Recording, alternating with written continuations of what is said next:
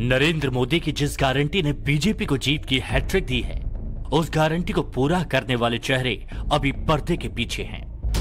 कौन बनेगा मुख्यमंत्री? छत्तीसगढ़ मध्य प्रदेश और राजस्थान में ये एक सवाल भर नहीं, क्योंकि इस सवाल के जवाब से तीन राज्यों का चेहरा ही नहीं तय होना। इससे 2024 के डबल इंजन की पटरी भी बिछाई जानी है।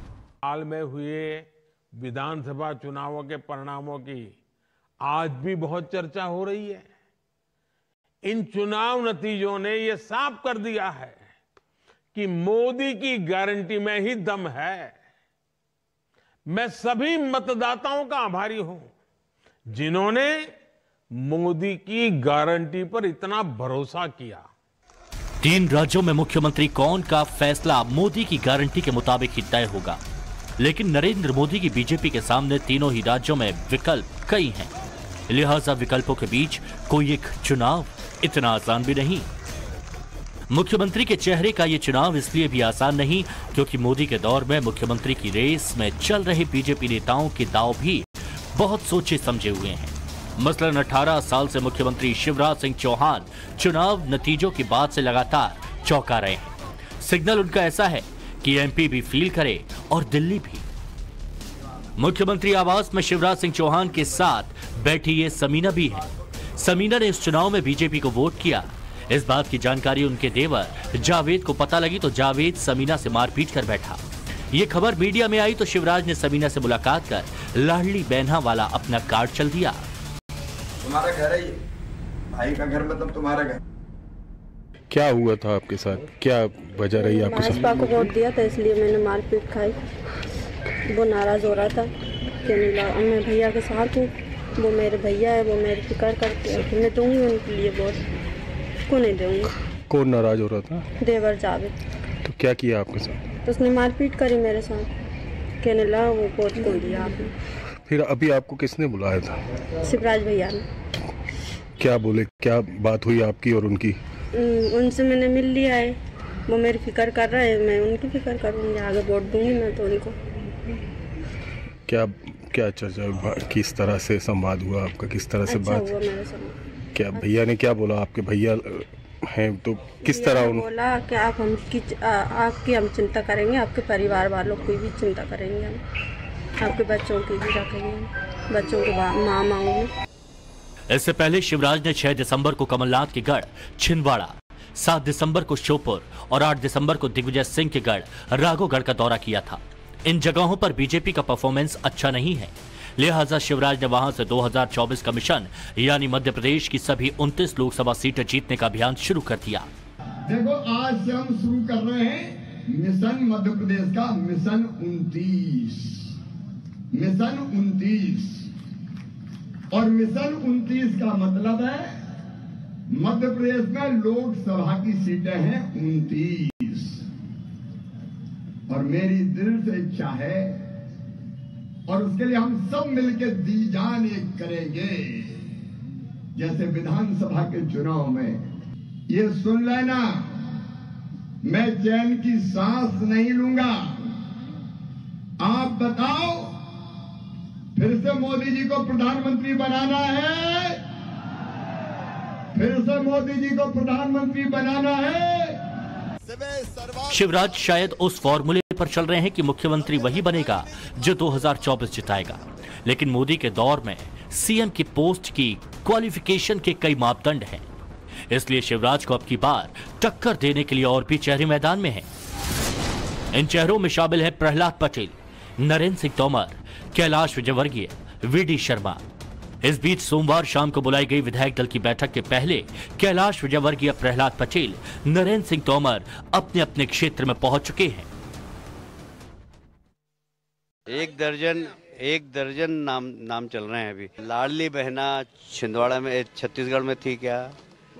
क्या लाडली बहना राजस्थान में थी क्या?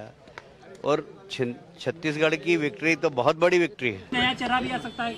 कि 230 विधायकों में से ही सीएम होगा सर? ये मैं कह रहा हूँ ना इसका जवाब तो आपको 10 तारीख को पता लग जाएगा। मध्य प्रदेश का अगला मुख्यमंत्री कौन होगा इस पर संशय अभी भी बरकरार है।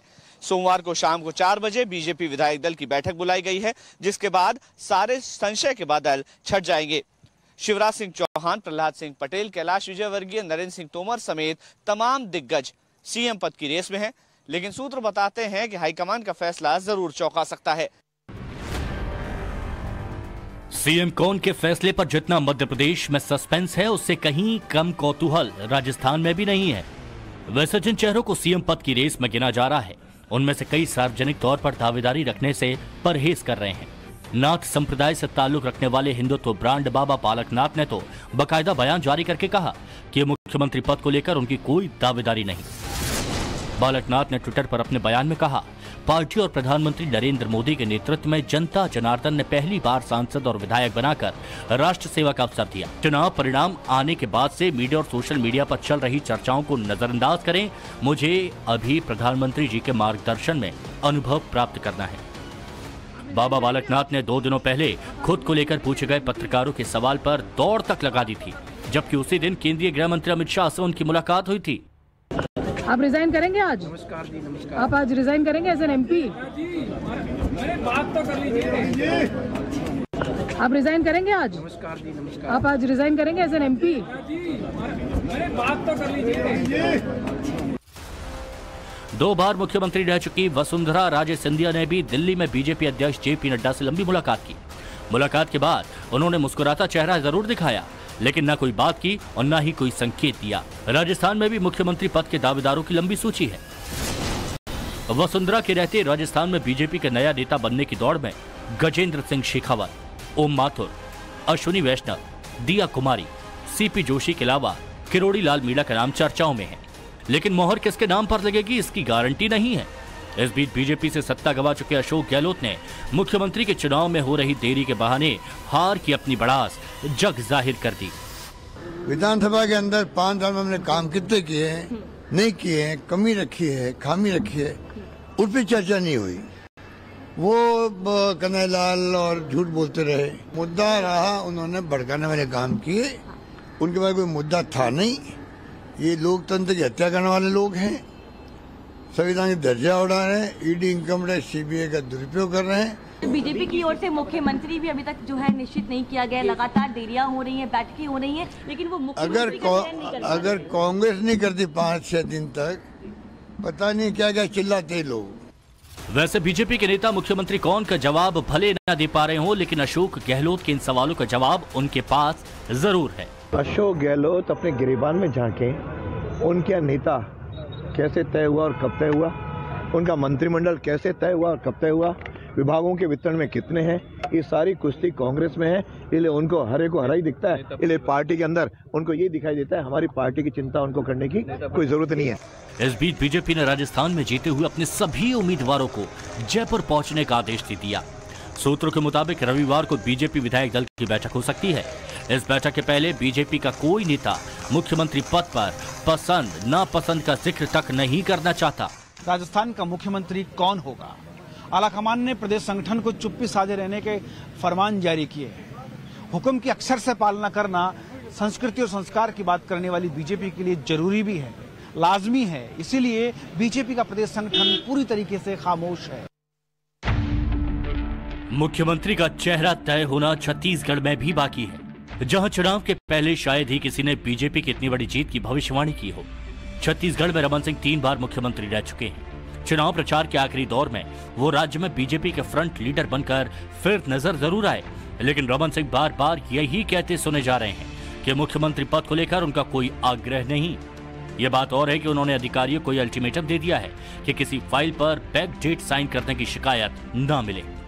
प्रशासनिक क्षेत्र से ये जानकारियाँ छन के आ रही थी और वो चिंताजनक है प्रदेश के लिए कि तीन तारीख के डेट में कुछ वित्तीय विषय को लेकर और कुछ अन्य विषय को लेकर। फाइलें बैक डेट में